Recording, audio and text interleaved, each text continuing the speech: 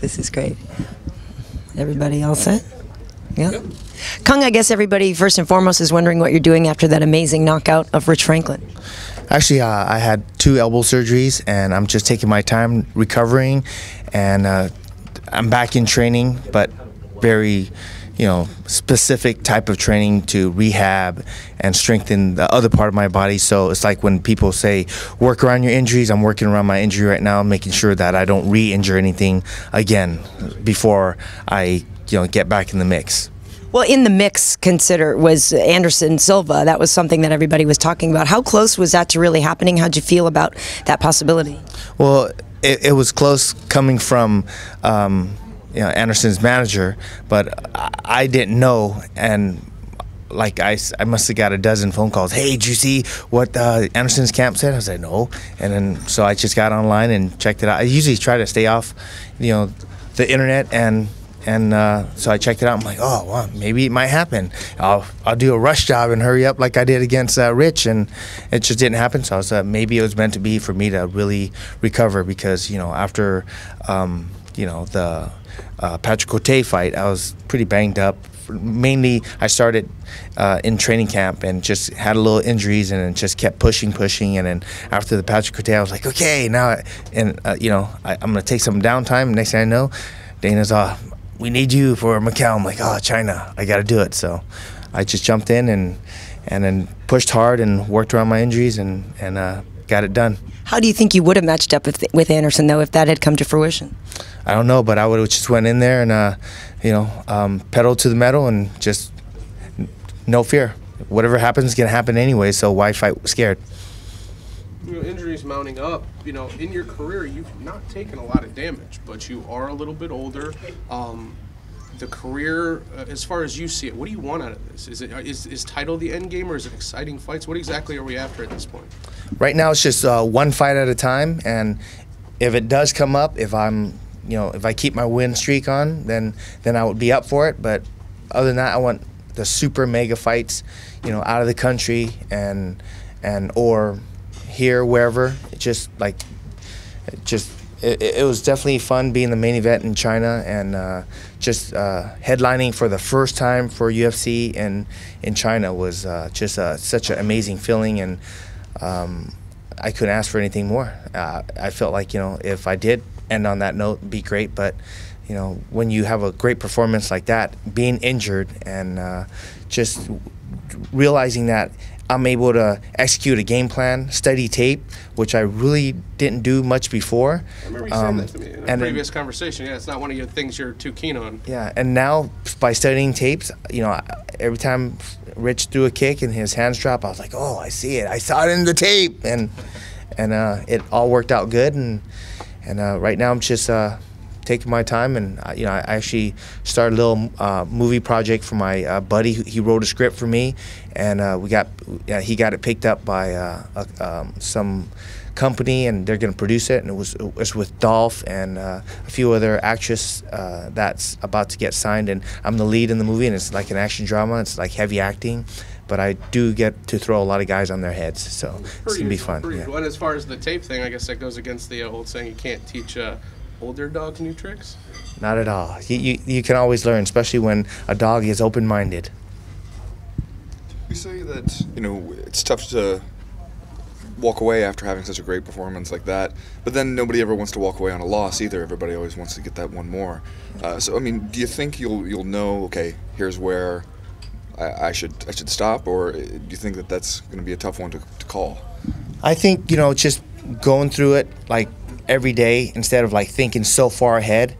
Whatever the day brings, then you just go with it. And if if you like for me, if I think too far ahead and then something happens, like I get injured, and uh, you know, like training camp nowadays, it's everything's really like for against Rich. I had one hard sparring session and that was it. The rest the rest time was simulation, a lot of cardio because it was a five round fight. So I really pushed the cardio, just worked on my technique, and um, it, it, definitely it definitely helped um, my uh, longevity as as a fighter. And before, when I was younger, I used to just train through injuries and just push did I didn't care if my shoulder was bothering me. I still punch on it now. Like something bothers me, I wouldn't work. I'll stay off that, but I would definitely work other parts of, you know, my body. Is there any worry with the with the with the going over the tape and the game planning that you lose some of your spontaneity in the cage? Not really. Um, I think going over the game plan, uh, you, you you know you work on the moves that might um, connect and find the openings for that moves. You know, to to break down his weakness, but at the same time, you can't just throw that move all the time. You have like for me, I have a whole arsenal of moves. So eventually, I I put it together in practice, and I how I practice is how I perform. That's my like kind of like how I live by my training. And eventually, when um, if that technique doesn't find some another technique might open it up, then that technique will find its spot. And, and that's that's how I I kind of train. Whenever it's like I can't just throw my spinning back kick because they'll see it coming. But what if I camouflage it with a, a bunch of different techniques and then hit the spinning back kick? Then then it's there for me. The fight with Wanderlei was incredible. Did you know in the moment that that fight was as good as it was and that it would be one of those fights that people talked about for so long? Actually, Wanderlei came up with a great game plan, and I think um, after that fight, I, I realized I got to study more tape because I watch all all of Wanderlei's uh, like greatest hits, and and I, I was expecting the the, the old Wanderlei to show up, and which she did show up at the end. But I, I, felt like in the beginning when I just just threw my stuff and not worried about you know what what he was gonna do. I was just focused on taking the openings, you know, with Wanderlei. And next thing I know, Wanderlei started backpedaling, and through the whole, my whole camp, I had King Mo coming at me the whole time. So I never had to fight anyone on the back pedal, and all of a sudden I was like, "Hey, what's going on?" You know, it's it's it, it, it was just he threw me completely off my game plan, and then you know I try to you know walk him down. Who walks down Wanderlei, you know? and then uh, I got caught, so you know, and uh, so you know, I, I, I live and learn, and uh, it's just uh, you know, I, I I I've been in enough fights to to realize I should have just stayed back and not try to you know please the fans so much and try to do these crazy moves, but you know I learned from it the crazy move is going to come anyways because every time I throw something, some crazy move always follows. So I shouldn't worry about at that time. And I think, oh, being in San Jose, I got to really make the fans happy. And and it ended up uh, ended up in the hospital with a broken nose. So no more of that. But I was happy. It was an amazing fight. I'm sorry. I'm glad you're happy. Yeah. afterwards, he told us that uh, he actually improved your acting career. He made you look more like a tough guy. Yeah. Well, you know what? Um, he actually helped me in a different way because my nose is more straight than it was before because that was my third nose break.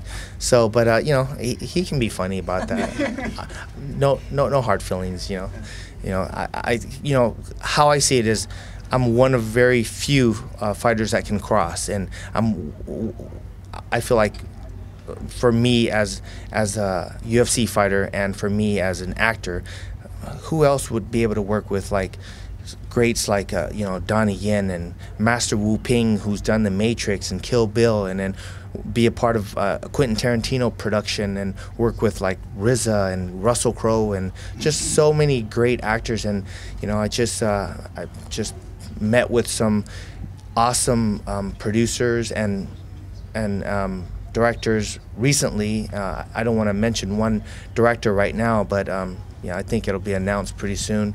Um, and it, it's crazy. It's not even an action project, um, but you know, in two weeks I, I meet with uh, Academy Award-winning producer Bill Kong.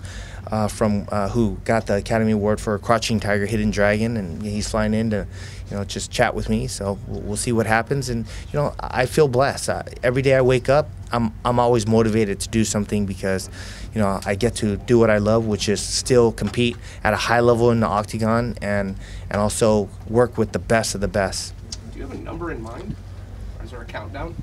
Or uh, is it just a you know your age, uh, the, the, career. It's been a long career from Sanshou to Strikeforce to here. Is there a number that you have in your head, or is it? Just well, it, it's all going to depend on like when I start sparring again. See how everything holds up. Right now, I'm lifting, I'm doing my sprints, and I'm working my cardio. I haven't grappled yet, but uh, you know, I started hitting some pads, hitting bags. Everything's feeling good. Like the first couple of sessions, it was sore for like a week. Then the next session, it sore for like three days, and now it's sore the next day. And so it's like it's really healing. So I don't want to rush back and all of a sudden re-injure it again. Then I'm out for another six weeks. That that's being injured is the most frustrating thing for for me as an athlete because I can't do what I love. I, I can't go in there and I, I go and coach my guys and they're sparring and I, I get the you know I get like the itch and it's almost like my like I'm going through withdrawals and it's it's it's hard it's just to sit there and coach and then and then I see all this opening I would have kicked at him this way throwing him this way but it is what it is I'd say that's a sign of a true fighter. Yeah.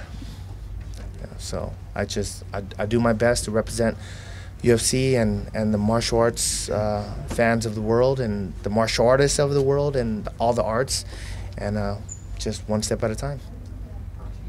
Thank you. Thank you. Thanks, guys. Nice to see you.